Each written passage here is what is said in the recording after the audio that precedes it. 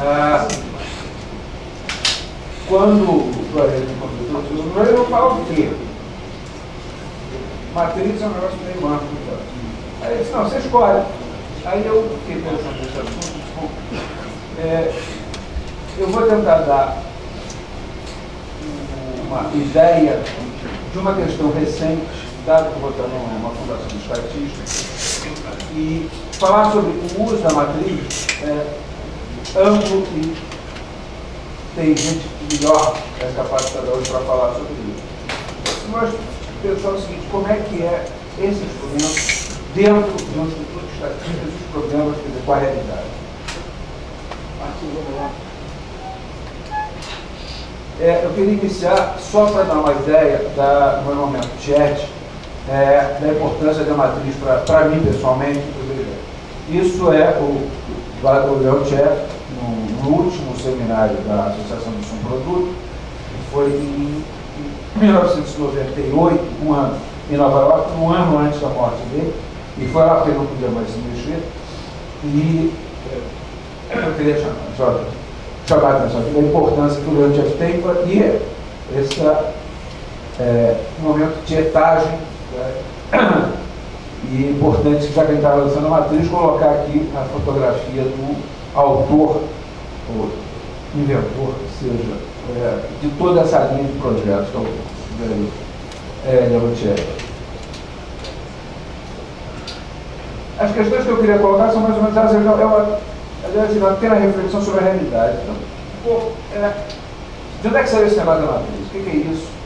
É, um pouco, falar rapidamente, ela serve para quê? Ou seja, o que, que a matriz tem de efetivamente uh, surpreendente e novo? Até hoje a matriz é uma coisa que é, ela existe, exemplo, porque ela incorporou, quer dizer, algumas questões novas que existem até hoje na parte da, planejamento econômico, na descrição é, das estruturas da economia. E aí, eu vou tentar focar rapidamente, para chamar a atenção nessa da realidade, ou seja, a matriz, é, ela se foca na, no conceito de coeficiente técnico, tá? É, e aí seja apenas isso. A gente tem que medir isso.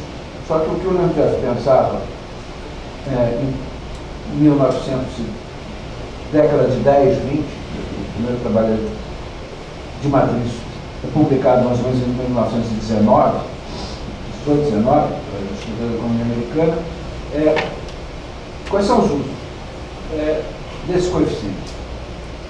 E por fim, já que eu estou aqui no, Instituto de Estatística, a gente vem no Instituto de Estatística, seguinte, é, existe uma questão fundamental que é a estatística básica, a matriz é um modelo teórico elaborado sob uma lógica teórica, só que existe um mundo real debaixo disso aí. E essa matriz, que está sendo divulgada hoje, ela reflete um enorme esforço de transformar uma base de dados particularmente complicada, que é a questão regional, no modelo de um produto. Essa passagem é extremamente complicada. Então, a ideia que eu queria só chamar a atenção que o esforço dessa matriz é, não é a ideia de ah, agora o Rio Grande do Sul tem uma matriz, ótimo, mas o conhecimento que está incorporado no processo de produção matriz, que é o conhecimento de usar a informação, conseguir construir a partir dessa informação à matriz, é um esforço é, absolutamente, é, eu ia usar hercúleo, dramático, mas é, era isso. É, o que essa equipe fez de juntar informação é impressionante. E aí, chamar a importância que as informações hoje, os dados fiscais, as informações que vêm da Secretaria de Fazenda, são fundamentais para o desenvolvimento do sistema estatístico, seja regional, seja nacional. É, isso é um ponto cada vez mais chave na construção das informações no país. Então, e o uso da informação, a questão aqui da, da, da, relação com a Secretaria de Fazenda é fundamental para entender um pouco é, essa lógica. Eu vou falar rapidamente, vamos focar só num ponto que eu acho que é o grande desafio hoje para uh, quem trabalha em um produto e estatística. Primeira ideia, rapidamente, é que ah, hoje a matriz perdeu o seu caráter de independência quando a matriz foi concebida, na verdade, durante muitos anos, o trabalho do Leontier, da sua equipe e a continuidade desse trabalho, é, dentro de uma série de centros de pesquisa universitários, era um trabalho meio independente, existe uma matriz, e vamos embora. De, no final da década de 90 para cá, a coisa mudou de figura no sentido que o, o sistema de contas nacionais, que era um sistema ah, até, vamos dizer, a, que a gente chama as recomendações de 1968, era um sistema reduzido a quatro ou cinco quadros, muito agregados. Quem estudou contabilidade social no Brasil estudou em dois ou três livros básicos e era um sisteminha reduzido. Eventualmente, alguma, quem estuda ainda alguma coisa ainda usa esse sistema. E esse sistema era de matriz de um produto. Fazia contas nacionais de um lado, matriz do outro. Com as recomendações que é chamado de 1993, que na verdade 68, aqui, é, eu estou chamando aqui o SMA 68. O capítulo 3 falava em matriz como uma, como uma coisa é, independente. O SMA 68 é o manual de referência do nosso jargão. Bom, a, a ideia é que quando se passa, por uma referência a 93, que era o manual de 1993 das Nações Unidas sobre contas nacionais, você passa a incorporar uma lógica de integração. Lógica de integração é o seguinte, a matriz perde o seu caráter de independência estatística e se torna uma parte do sistema de contas nacionais. Quer dizer, o sistema de contas nacionais eh, dos países, ele rompe entre o que a gente chama do sistema de 68 ao sistema de 93, de um sistema extremamente agregado, em quatro tabelinhas, para um imenso sistema tá, com é, contas integradas, as tabelas de recursos tá, é, que se tornam a mãe da matriz. Uma tabela de recursos que é uma tabela básica do sistema de contas nacionais, é a raiz de onde você vai calcular uma matriz de um produto. Mas o trabalho que foi feito aqui, um pouco, passa antes para um estabelecimento de uma tabela de recursos regional, para depois ter mais. No Brasil, mais ou menos é a mesma coisa, no mundo inteiro. É, na, quando a matriz é um projeto institucional, funciona assim. Existem lugares que a matriz é, por exemplo, uma, uma determinada universidade ou um determinado centro de pesquisa faz uma matriz independente de toca pau. É, mas isso não faz parte da lógica de integração de dados oficiais no país. Então, essa, essa ideia é importante no sentido de que você é, deixa de ver a matriz como um elemento a parte dos sistemas de estatísticas oficiais no país, que se torna, ela se torna um componente das contas do país. Tá? Isso começa no Brasil, a gente passou a divulgar isso a partir de 1997, quando o sistema passa do sistema uh, antigo, chamado consolidado, para o sistema novo. Aí, um pouco, eu, fiz assim rapidamente, uh, referências. Quem é que fala de matriz hoje? Assim? Quer dizer, os franceses, os estatísticos, como é uma referência no passado, que trabalhavam muito essa ideia de integração e hoje as grandes referências, se você for procurar, é o Manual das Nações Unidas, que está sendo desenvolvido agora um manual específico para é, matriz de um produto. Tem um manual do Eurostat, do Instituto de Estatística da União Europeia, e, por incrível que pareça, ainda a grande referência é o livro do Miller e Blair. É um grande livro.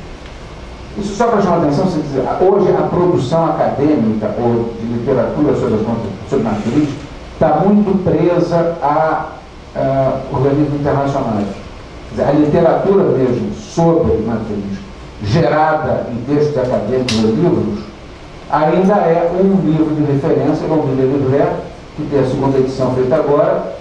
Eu, pelo menos, não conheço mais nenhum, não sei se os meninos mais novos que trabalham com mais intensidade identificam, mas é, só para chamar a atenção dizer, que ah, é uma área muito mais ocupada por organismos internacionais do que efetivamente pela produção quer dizer, de literatura mais fácil sobre matriz. Ah, O que não quer dizer que não tem importância. Quer dizer, os trabalhos com matriz são é, bastante é, vastos no mundo, mas a literatura é pequena. O charme, o sex appeal da matriz, ou do modelo de Angela. Quer dizer, o modelo, quando a gente fala matriz, na verdade, é, é até uma coisa meio reducionista, porque na verdade é um grande modelo que tem como característica, primeiro, ser o primeiro, talvez um único. Agora tem um negócio de equilíbrio geral, que inventaram recentemente, que na verdade tem a matriz como base, ou através de outros como base. Mas é dos grandes modelos de estrutura da economia que é desagregado e que relaciona um detalhamento muito grande entre as atividades econômicas, o que é produzido, o que é consumido. É, foge um pouco é, de uma linha de trabalhos agregados. A matriz ela tem essa característica. E o ponto-chave da matriz é a lógica da ideia de cadeias produtivas. A matriz permite você olhar a economia em todos os seus processos produtivos, que é, seja o processo direto, ou seja, o quanto é necessário para produzir, mas ela te permite fazer uma análise de todas os, as cadeias produtivas, quanto é necessário para produzir, quanto é necessário um segundo round de produção, um terceiro, assim por diante. A ideia é que esse modelo te permite um, análise de cadeias produtivas, de links, de encadeamentos, fantástico.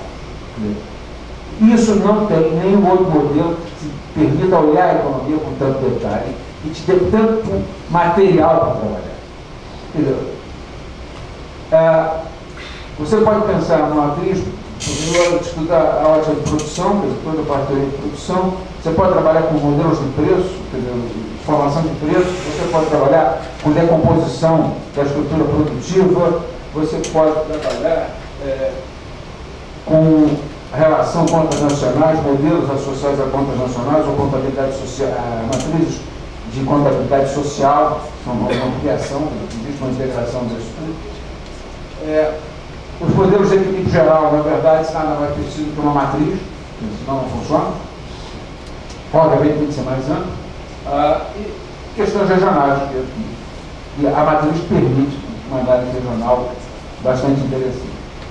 Nesse ponto, tem aqui uma reflexão importante, dado que está vendo regionalmente, que é o seguinte, que a gente mencionou no Brasil, eu vejo isso na mesa. Será que todo Estado precisa de uma matriz? Isso tem uma lógica, é, às vezes, razoavelmente perversa na geração de matriz. Eu, a matriz, ela tem uma característica básica. Ela é um modelo preocupado, basicamente, com analisar estruturas produtivas internas e a lógica dela é você, dado a demanda por bens locais, analisar a produção necessária. Como é que eu tenho a produção necessária para atender uma determinada demanda? Quer dizer, a relação da matriz com o resto do mundo ou com o resto do país necessita um modelo complementar. Tá? Então, uma reflexão importante é a, o uso regional da matriz ele tem que ser feito sempre olhando a estrutura produtiva e o investimento que você tem para fazer uma matriz.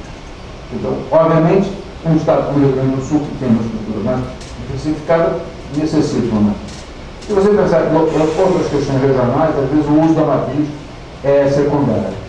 Isso é uma reflexão importante para você valorizar o instrumento que você está trabalhando e não achar que é um instrumento que é um, um, tem a solução para todas as questões regionais.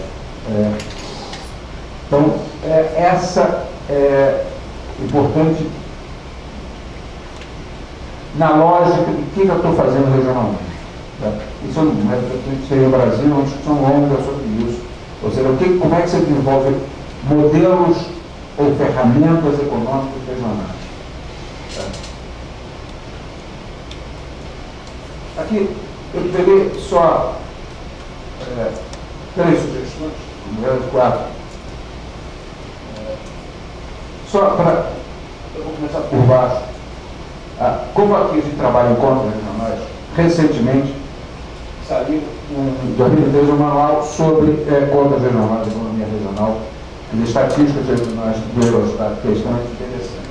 Então está aqui como provocação a equipe de contas regionais aqui, é, associar o trabalho também a essa lógica de informação nova. está sendo é, projetado e escrito um manual específico sobre matriz de um produto pelas Nações Unidas. Esse manual está para sair ano que vem. É, a ideia de que é um novo, ah, uma nova referência, de novo, oficial, sobre o uso de matriz. Ah, e por fim, que eu queria centrar um pouco, né? esse é um texto ah, que foi discutido agora, em agosto. Esse AEG é um uh, aconselhamento, um grupo de apoio ao intersecretariado das Nações Unidas em contas nacionais, e onde se encaixa a conta nacional de defesa de matriz. E surgiu uma recomendação nova agora, que está em discussão, que eu queria focar aqui como a reflexão, já que a gente está pensando em matriz. A ideia daqui para frente é dados, generalidades sobre matriz, pensar qual é a realidade que a gente vive com esse tipo de modelo. Então, e aí o fundamental é, às vezes a gente olha o modelo e usa o modelo e não sabe o que está por trás dele. Não sabe como é que ele foi construído e às vezes se ele funciona para algumas coisas ou não. Ou como fazer funcionar.